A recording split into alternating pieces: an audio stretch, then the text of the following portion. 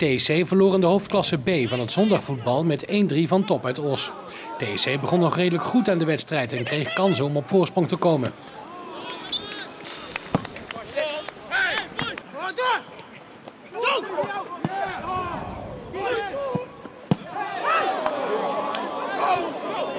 Hier bleek al dat TSC de nodige scherpte miste. Zodat het goed georganiseerde top gemakkelijk op de been kon blijven en na een half uur zelfs op voorsprong kon komen. Een vrije trap van Rob van Zonsbeek van ver buiten het strafschopgebied werd door iedereen, inclusief TSC-doelman Sebastian van der Sman, gemist. 0-1. En dat was meteen ook de ruststand. In de 31e minuut komt top op 0-1 door doelpunt van Rob van Zonsbeek, nummer 9. Na de pauze liet TSC-trainer Hanki Leatemia Sven van Inge voor Akihiro Takasawa in het veld komen en Gregory Vierek voor Erik van D. Het gewenste resultaat leverde dat niet op, want na 6 seconden stond TSC al op een 0-2 achterstand. De hele verdediging stond te slapen. Hierna zakte Top ver in en kon TSC de compacte verdedigingsmuur van Top het Os niet slechten.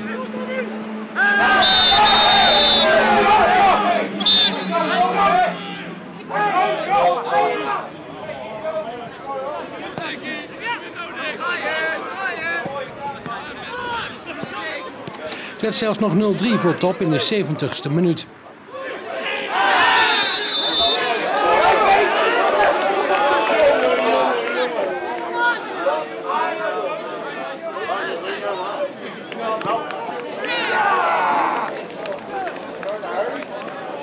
TEC zette nog een sterk offensief in, maar de uitblinker van de wedstrijd, de keeper van Top Os, Bas de Bruin, hield alle ballen tegen.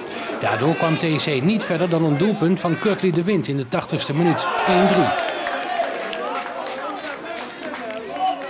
Het was de eerste nederlaag van TEC in de hoofdklasse op Sportpark De Lok.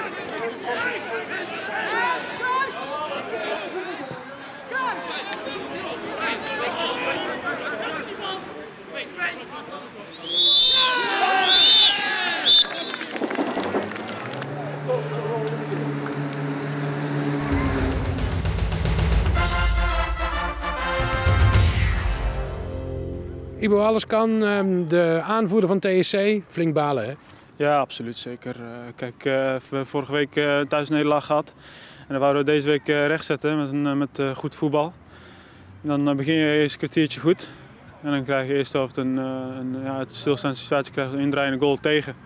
En dan begint het eigenlijk weer een beetje net, elke keer net niet, net niet. En dan, en dan zie je dat de eerste helft gewoon niet goed loopt eigenlijk.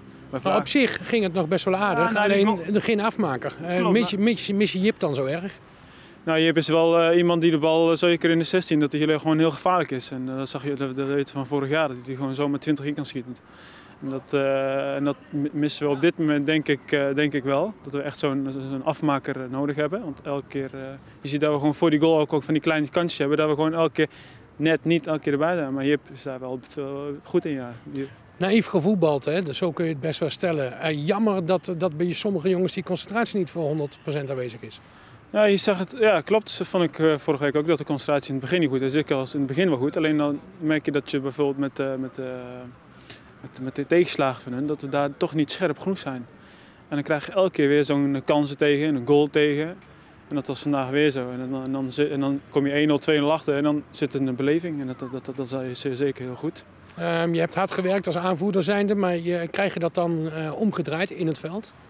Nou, je ziet, kijk, naar die 2-0 zie je, die valt natuurlijk gelijk eh, binnen 10 seconden. Dat is helemaal een drama. Maar dat, je ziet dat het eh, tweede helft, dat we wel meer Maar je ziet wel dat die ballen die in de 16 vallen, die in de 5 meter vallen, staat er niemand van ons. En dat moeten we wel eh, hebben. En dan, en dan zie je dat, eh, dat, zij, dat zij zijn er met drie, vier man gelijk bovenop. En dat is, Ja, dat en was het verschil vandaag. Uiteindelijk natuurlijk, hè, en als er in de laatste eh, 15, 16 minuten nog twee keer gescoord wordt door TC, had het zomaar gekund. Hè? Die keeper was wel erg goed. Ja, absoluut. Zeker wel. Eh, Kijk, eh Curly maakt, die maakt natuurlijk een goede goal. De tweede keer eh, had, hij, had hij weer kunnen scoren, schiet hij net over. Maar de keeper had vandaag eh, wel hele goede reflexen bij zitten. Ja. Absoluut. Goed, en nu eh, neus vooruit. Hoe gaan we dit eh, tijd keren? Ja, ik denk eh, dat we weer eh, een, beetje, een, beetje op, eh, een beetje vanaf het begin moeten beginnen. En dat we gewoon eh, moeten laten zien dat we, dat we als, als team dat, dat we als team gewoon weer uh, vol tegenaan moeten. En dat we niet zomaar op halve kracht kunnen voetballen of zo. Dat we gewoon vol geconcentreerd weer de volgende wedstrijd moeten oppakken. Bas de Bruin van Top Os en man of the match, de keeper. Ja, bedankt.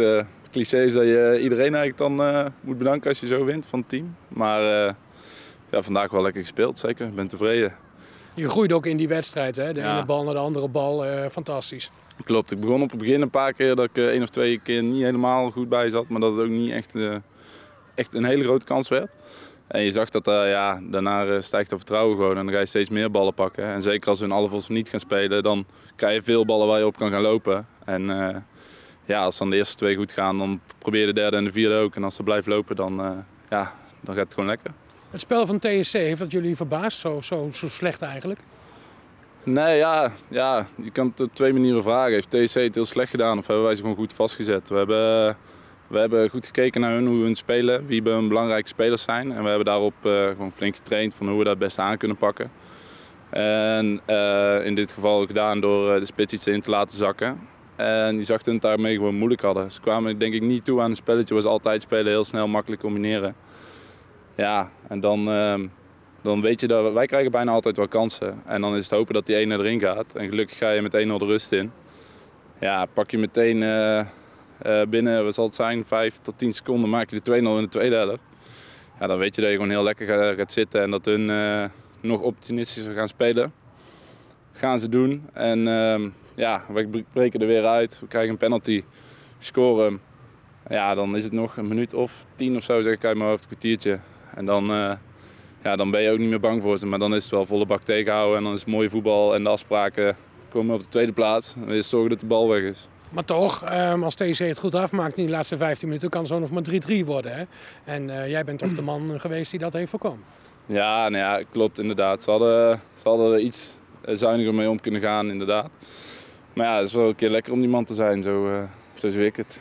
Hey Toppels, um, jullie doen het goed? Ja, zeker. Het gaat vrij goed. Het is...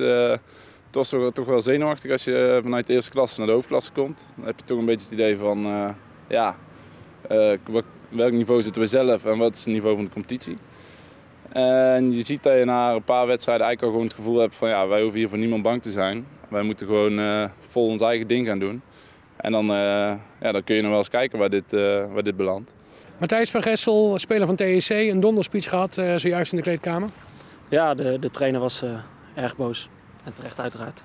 Um, even de wedstrijd beschouwen, jouw eigen spel? Uh, ook niet goed de eerste helft. Uh, zeer weinig ballen gehad. Ook wel een beetje de verdiensten van de tegenstander. Maar ook wel mezelf had er iets meer uh, aan kunnen doen, denk ik. Ja, het blijft natuurlijk balen, verloren. Um, maar goed, zulke wedstrijden die zijn er ook, hè? Ja, beginwedstrijden van het seizoen spelen we natuurlijk fantastisch voetbal.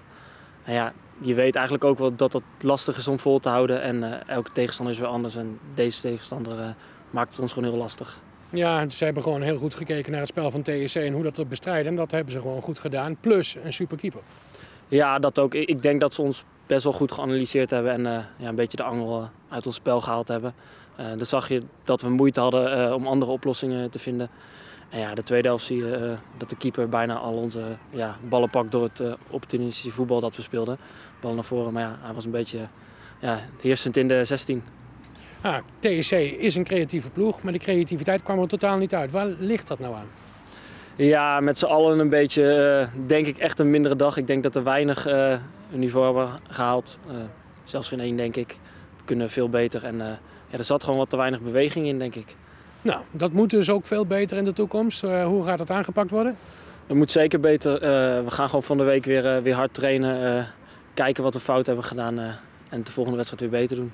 You win some, you lose some. Toch jammer. Ja, het blijft altijd jammer om te verliezen. En zeker thuis. Maar terecht een nederlaag, ik kan er niks van zeggen. Gewoon een terecht nederlaag. Um, onderschatting, is daar sprake van? Nee, weer niet onderschatting. Maar uh, het, is, het was de eerste 10 minuten was het gewoon hartstikke goed. Dan hadden we denk ik twee keer moeten scoren. Nou ja, goed, uh, je hebt het gezien, uh, we, scoren niet. Maar alle respect, het leek alsof er jongens tussen liepen die niet voor die volle 100% er tegenaan gingen in het begin. Nou ja, dat is ook onze, onze manco, zeg maar. Je, je moet de wedstrijd ingaan zoals het de laatste wedstrijd is. Je moet alles ervoor geven om die wedstrijd te winnen. En als je dan ziet, de eerste 10 minuten ging het uh, behoorlijk, laat ik het zo zeggen. Moet je wel 2-0 voor komen te staan. Ja, en daarna zakken we weg als een, als een, een plumpunt, denk ik, ja. Uh, goed, dan uh, die 2-0. Um, top doet het gewoon uh, goed. Um, die tweede helft, ja, dan hebben we het weer over het begin. Hoe kan dat nou? Nou ja, dat, dat, dat, zeg ik. Je moet de wedstrijd altijd ingaan met, uh, met, met scherpte. Dan moet, je, dan moet je erbij zijn. Zeker als je 0-1 achter staat, dan moet je gewoon scherp zijn. En als je dan zo'n aftrap hebt uh, waar je zit te slapen. Ja, en ze kunnen dan makkelijk naar uh, richting goal. Ja, dan, dan doe je volgens mij iets niet goed. Ja, niet alleen de spelers waren aan het slapen, ook wij van TEC TV. Want dat, dat, doelpunt hebben we dus niet. Kun je hem nog een keer ehm, benoemen? Nou ja, ze hebben een aftrap. Ze schieten de bal naar voren. En er komt tussen Gregory en Sebastian van der Smam komt hij er tussenin. Ja, twijfelen wie het hem zou pakken. Dus, uh, nummer 16 gaat ermee vandoor, omspeelt de keeper. En uh, ja, scoort. Goed, vervolgens gaat TSC in die tweede helft drukken. Uh, Kurtley de Wind die maakt de 1-3. En daarna gebeurt er het een en ander. Nou ja, 1-3 met nog uh, zeker 10, 15 minuten te spelen. Ja, die, dan is de kans dat je misschien een, een geest krijgt. Maar we hebben alles geprobeerd om, om, om, om, die doelpunten te maken. Alleen ja, de keeper was gewoon een sta in de weg. Ja, dat heeft hij goed gedaan met, met, met, met behulp van uh, de verdediging. Nou ja, goed, uh, Os kwam hier volgens mij voor een punt en hebben volle pond meegenomen. Dus uh, ja, gewoon goed gedaan. Ja, je kunt stellen dat de keeper van, van Top Os man of the match is. Hè? Ja, ik denk toch wel de hele ploeg. Als je er ziet dat iedereen mee verdedigt ook. En, en de instelling hebt om, om er alles aan te doen om, om te winnen. En zeker uh, toen ze 2-0 maakten, en, uh, of 0-2 en 0-3, ja, dan hebben ze dat gewoon goed gedaan. En uh, al, alle, alle, complimenten naar de, naar de, naar de, naar de ploeg toe van, van ons, want die hebben het maximale eruit gehaald en dat is goed. Um, eventjes resumerend, een onvoldoende. de trainerstaf moet aan de bak. Een dikke onvoldoende. En ja, normaal zijn we maandags vrij, maar we gaan maandag een extra training inlassen. Dus we gaan nog alles weer gaan doen om volgende week weer een goede wedstrijd te spelen.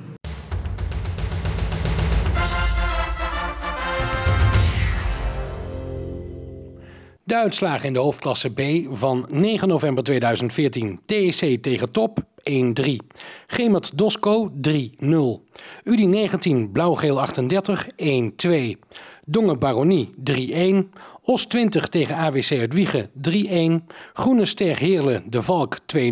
En Deurne RKSV Schijndel 5-1. De stand per 9 november, blauw-geel 38, nu bovenaan met 18 punten uit 9 gespeelde wedstrijden. Zosco 18 punten uit 9, Gemert 17 uit 8, Dongen 16 uit 9, Groene Ster 15 uit 9, Os 20 15 uit 9, Top 15 uit 9 en TSC 14 uit 8 gespeelde wedstrijden.